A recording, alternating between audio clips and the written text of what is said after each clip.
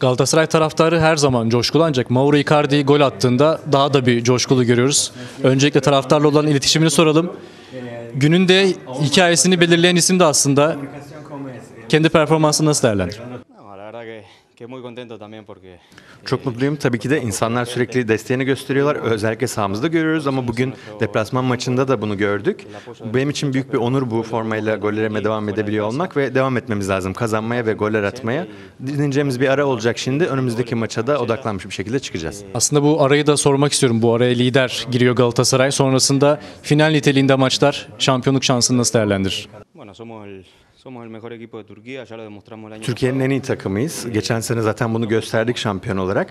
Uzun galibiyet serileri de yapıyoruz. Geçen sene de 14 maçlık bir seri yakalamıştık. Şu anda da buna devam etmemiz gerekiyor. Aynı çizgide devam ettiğimiz sürece şampiyon olan taraf biz olacağız tabii ki de buna inanıyoruz.